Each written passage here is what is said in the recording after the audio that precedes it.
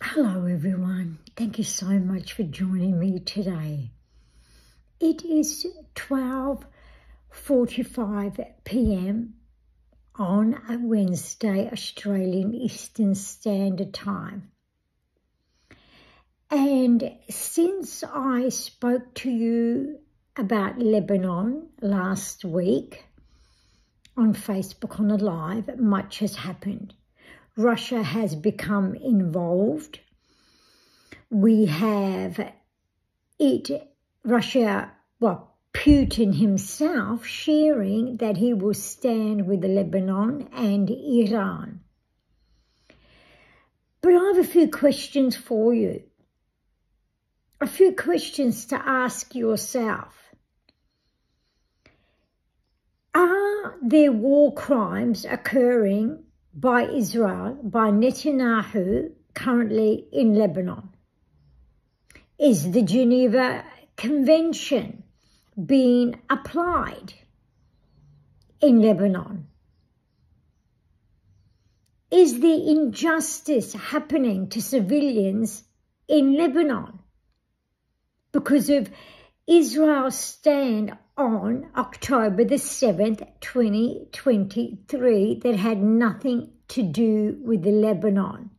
Rather, it was a political group in Lebanon, Hezbollah, that Israel has its right to defend against. Now, an advocate for Israel says, we have the right to defend Israel. And yes, they do. But I am livid they have a right to defend Israel, but they do not have a right to destroy Lebanon. It, they have already killed the leader and commanders of Hezbollah. They're gone. Hezbollah is weakened. Now Israel is telling us that it's after Hezbollah's weaponry and that Hezbollah are hiding amongst civilians. Children that I saw this morning are suffering. It is heartbreaking. I just wanted, well, I did have cry actually. They're in Beirut. Then you get the north of, sorry, the south of Lebanon where there are hundreds and hundreds, if not thousands, of residents who are being afraid to stay, so they walk into Syria for refuge because of the bombing that Israel continues to commit in Lebanon. If Israel and Netanyahu really wanted to get Hezbollah's equipment, why don't they go to the root? Why don't they go to the source? This is becoming unacceptable on all fronts.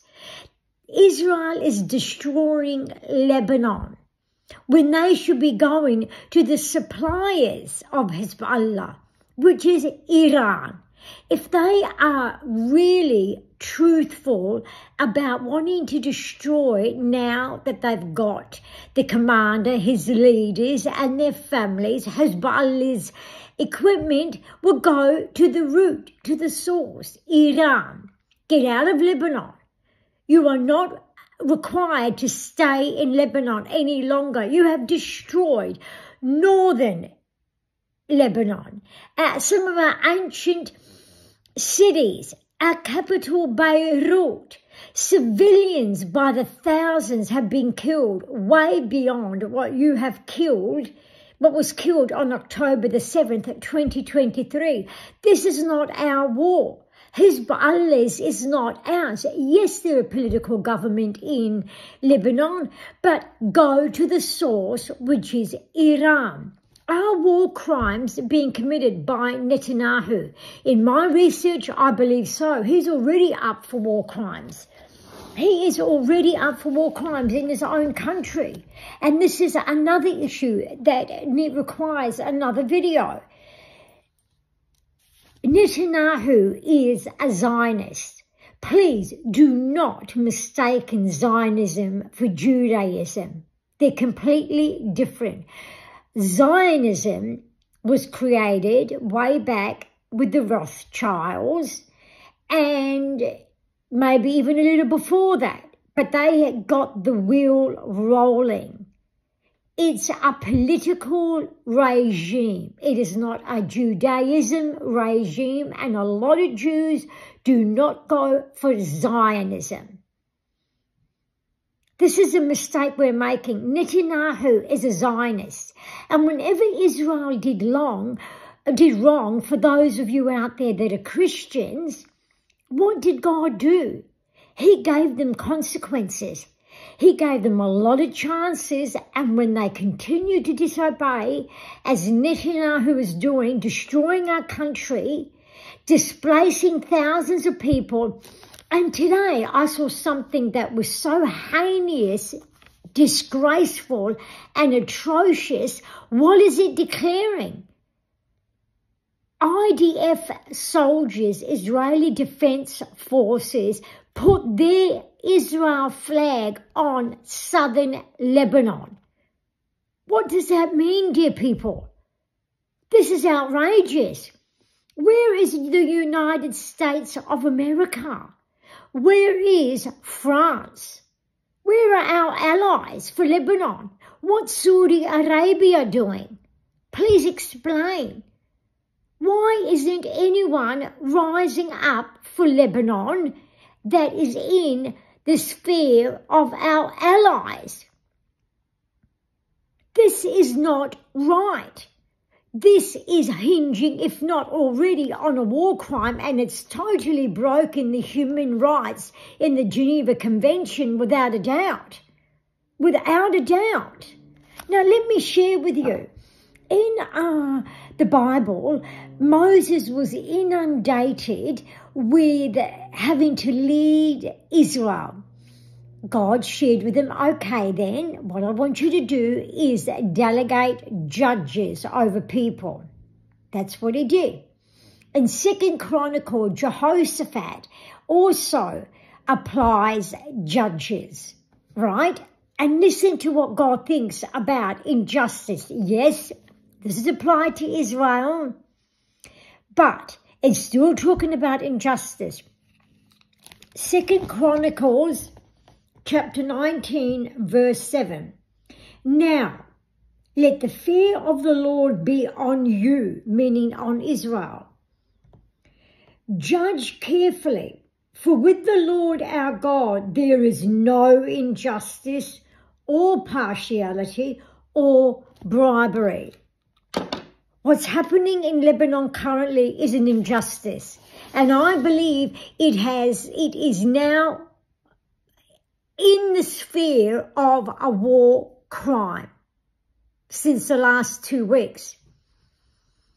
Go and research Israel and find for yourself Netanyahu is up for war crimes by the Israeli courts. He is. Our country should not be further attacked anymore. Our allies are just as accountable for not stopping Israel. Yes, Israel has, has the right to defend itself, but it doesn't have the right to continue to attack Lebanon, continue to have civilians being killed, suffered, displaced, frightened, if you saw the video I saw this morning of the children in Beirut, it broke my heart. They can't go to school. They were all in a circle being interviewed, discussing what's happening. They're petrified. There are strikes going on in Beirut, in southern Lebanon, heading into northern Lebanon. This is now an atrocity. Lebanese everywhere. You need to stand up, whatever country you're from or in. This is my part, helping my people in Melbourne, Australia. This is my part. What are you doing on your part to stand for Lebanon? To stand and make the leaders and our allies accountable. To stand against this atrocity that Israel, that Netanyahu is doing on Lebanon if he requires to destroy Hezbollah's equipment, I will repeat, go to those who supply the equipment, Iran. You know the Iran that your President Obama, the criminal, who also in days to come you're going to hear a lot about the Obamas. He gave billions of US dollars to Iran so they could form a nuclear weapon. Oh yes, they put certain sanctions on it, but what a whole lot of nonsense. That was just to keep the people calm, dear people. I implore Lebanese everywhere, wherever you are, we need to stand for Israel, for Lebanon. We need to call out Israel. Israel requires to come out of Lebanon. Enough is enough. This is not our war. This is Israel and Iran's war. Stop using our nation, destroying our people, our future, and do what is right and just. For you will be judged, Netanyahu. All of you will be judged. This is not Lebanon's war. Please, something requires to be done. Our government is in disarray. We haven't had a president for two years. Our economy is in disarray for years.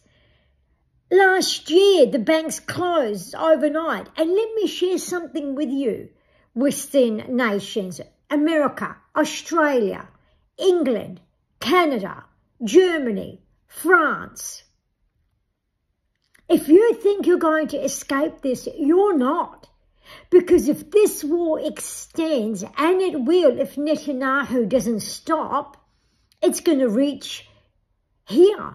And how is it going to reach here? Economically, politically, geographically.